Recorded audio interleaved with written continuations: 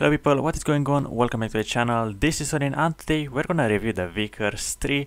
Uh, it's a tier 10 British medium tank which uh, I believe is gonna be available for the assembly shop but I might be wrong. So it can be also clan wars reward or some kind of uh, mission marathon or whatever it it's gonna be the case. But it is that time of the year whenever uh, they are adding a brand new tier 10 to super test for september october when it's gonna be the assembly shop. So i kind of am like a 50 50 whether this is gonna be an upcoming um, what is this gonna be assembly shop vehicle. But uh, obviously i might be mistaken the vehicle might not be joining the live server so watch this video just for entertainment purposes and just you know to if you see it on the battlefield so you know what is this vehicle all about. But let's begin the video let's begin the review. I'm going to compare the Vickers 3 to the Centurion Action 10 which is um, uh, well i guess the only good tier 10 british medium. Well i guess the um, wheel version as well but the Centurion is just more reliable, has much better DPM, has much better handling I guess, has much better uh, turret armor and uh, overall better survivability and playstyle. But uh, over here on top of that we also have a Vickers 3 which only has a turbo to match the mobility but obviously we're going to talk about the firepower then the handling then we're going to drop down to mobility but the firepower we can see that um, this upcoming tier 10 British medium tank, which I guess is gonna be what is the state of reward or something, has tiny touch less DPM than the Centurion by roughly 200 DPM, which is like half around a minute. Obviously, they are having the same 390 alpha damage, the same 268 penetration, and I guess the same 330 HEAT with uh, 480 HE. So they're pretty much using the same identical gun, but uh, with the same shell velocity on APCR, which is just uh, incredible once again I forgot to mention like 330 HEAT which is very nice for a medium for a medium tank and on top of that.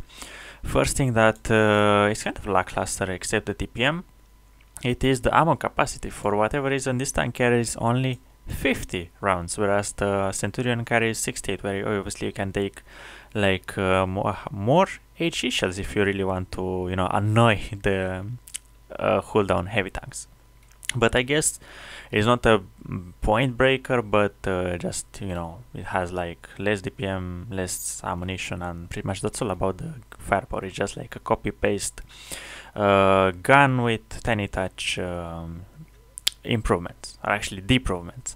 Uh, in terms of gun handling we can see that the gun is actually much better than the Centurion. Well it's not much better it's just tiny touch better like tiny touch better aiming time and uh, kind of a margin dispersion.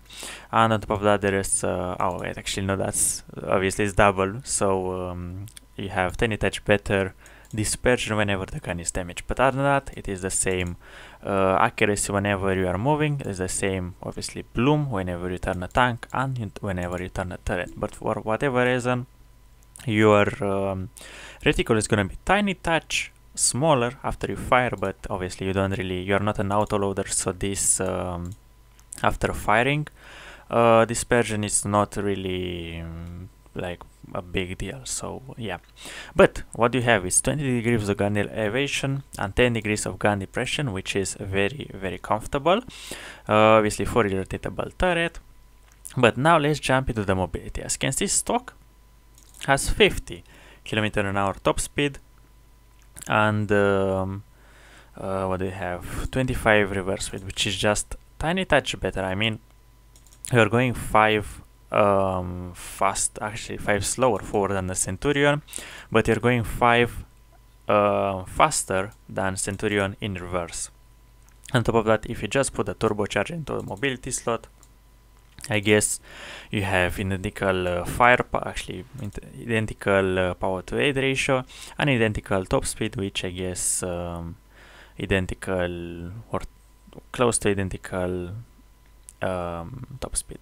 So yeah let's uh, take the Vickers out with a turbo and let's just uh, compare them side by side just like that. So as you can see stock the vehicle has tiny touch less power to aid ratio and obviously the 5 km an hour less speed uh, but um, considering at what cost you are 39 ton which means you cannot really ram anything you can like um, try to run away. Actually, you can ram light tanks, but obviously you're still gonna take a lot of damage in return. So you are, if the Centurion action 10 is gonna ram you, it's not gonna be really nice for you. Uh, but uh, on top of that you have the same ground resistance so it's not a big deal. They are pretty much nearly identical in terms of mobility other than the fact that I mentioned obviously the 5 kilometer uh, disparity that I guess you can get them back through a field ball. I mean those are what are those support mediums? But obviously whenever you're gonna set it up uh, we're gonna take a look at that. But in terms of armor, this is the big disappointment. This tank gets only 60 millimeter of armor, whereas the Centurion gets 121 of armor, which is still low, but uh, obviously you can still deflect some uh, high penetration HE like from um, 150 to 155 millimeter caliber rounds, uh, 30 millimeters of side armor, which means you cannot really side scrape, whereas you, with the Centurion action then you can side scrape if you're careful, and the rear armor is just um, is just not existent. So artillery, whenever it's gonna splash your rear, is gonna deal significant amount of damage, but is the vehicle is the vehicle gonna be a chieftain on a ridge? But by looks of it, no. The turret armor is only 80 millimeters, whereas the Centurion, even with 254, is still getting easily penetratable versus um, high penetration Staranas. But the Centurion Action 10, uh, if you can make it work and you know how to play it hull down, the vehicle itself has kind of a sturdy turret. So yeah, without 80, with uh, 80 millimeters, you are pretty much like a leopard in um, in um, better shape of form. Uh, on top of that, you have uh, 50 less hit points, and by the looks of it, kind of the same uh, health, uh, engine health, engine actually track health, and so on and so forth. And on top of that, you have tiny touch better concealment, which is, uh, I guess, is gonna help you a bit if, if you don't really have the armor, but um, obviously I'll, I'll rather have the armor rather than uh, the concealment. And on top of that, you are getting set on fire less with the Vickers uh, by 5% less, which is like a 1 in 1 in 6 chances or 1 in 7 chances, whereas with the Centurion it's a 1 in um, 1 in 5th, but obviously you don't really get set on fire that often because people cannot really flank you because you're a medium tank. So um, yeah, by first opinion, do I think the vehicle is um, gonna be interesting? I mean, like, I'll still rather pick the Centurion Action 10, but if this vehicle is gonna be an assembly shop and you'll have to spend like a hundred million credits on it, I'll just, you know, skip it like I do usually. But obviously, if you're a tank collector, then you should go ahead and get it because it's a collector. You will you'll never get it once again as wargaming style. But um, honestly, I don't really recommend spending millions of um, credits and millions of gold on tanks that are just uh, you know over there for the whales to spend 300 euro actually to uh, waste too much 300 let's say 150 150 euro or 150 dollar to get yourself a tank that is just uh, pixel on uh, on a game. But yeah obviously it's just my opinion. You can do whatever you want. I'm i'm just trying to be as transparent as possible.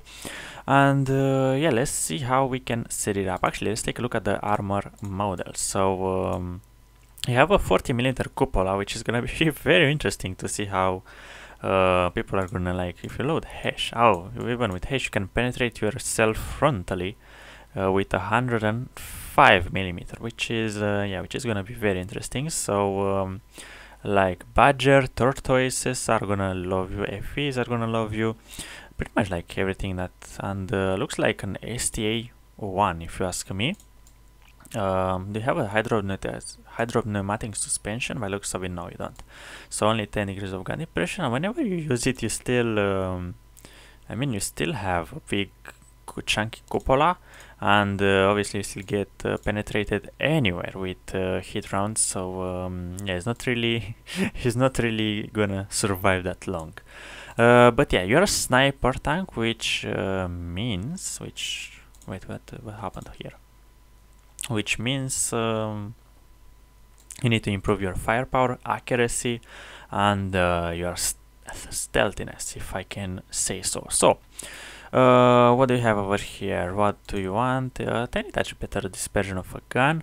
Um, tiny touch better accuracy 2 kilometer an hour reverse for what is that concealment I'll go actually for the concealment because the vehicle has really good reverse speed uh, I'll, I'll think I'll go for a scouting build I guess uh, rather than survivability for only for like open maps where you can use an um, exhaust but on top of that why will I use this whenever, whenever I can use the um, the bounty. When I actually go go for survivability slot next we go for what do we go for? Better aiming time or better I think we're gonna go for uh, better accuracy rather than the reload or what do you go for? Um, I think we're gonna go obviously for the accuracy because it's a sniper so you want to really connect your shell. But obviously you can pick loading mechanism tuning if you really want to obviously go for it but it's um, it's a big margin so I'll still go for better accuracy. Uh, yet once again for 0 from 0 0.3 to 0 0.27 is still not really a big difference so I'll rather go for the damage build I guess. Who knows? Or maybe neither of those. But yeah next uh, you wanna go for aiming speed or engine power? I guess we're gonna go for engine power.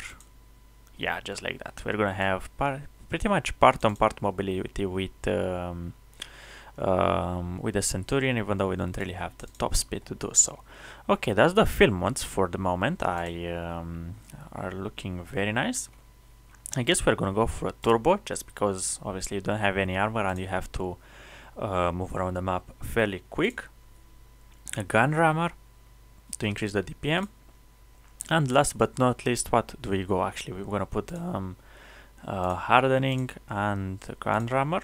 Uh, those are gonna be desirable for a city map but uh, other than that you can either go for an um, bounty exhaust so you get yourself better concealment like once you put yourself camouflage, Pratislam, concealment, recon, situational awareness, snapshot and other um, obviously because this thing is a reward you can put your best um, crew in. As so yeah as you can see whenever you are putting all whenever things are adding up you get up to 35 moving concealment with an uh, exhaust which is gonna be for such a um, you know glass cannon tank I guess that's gonna be fairly good in his favor.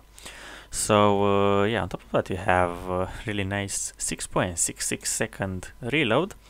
I mean yeah the tank it's uh, whenever you start to um, fully pump it up it's still it's starting to look tiny touch better but uh, as you can see you get 463 meters view range with pudding and tea. Um, so I guess it's gonna be an interesting vehicle but um, once again I will still rather pick the Centurion Action 10 because I feel like the tank is just um, it's more usable on any kind of situation you have. Once again better survivability tiny touch better DPM tiny touch better mobility at the cost of um, I guess 1% concealment that you don't really feel that much at tier 10 so um, yeah who am I to judge? This was the video review for the Vickers MBT Mark III uh, upcoming who knows what probably as I mentioned assembly shop or new Clan Wars War but I don't really feel like it's gonna be Clan Wars War because the tank is just you know not uh, not really specific in any way but obviously I can uh, I can be wrong. So uh, let me know what do you think about the vehicle and I'll see legends around with um, obviously the other vehicles that I mentioned into my um, what tanks are being tested on the battlefield on the live server. So see you soon legends. Bye bye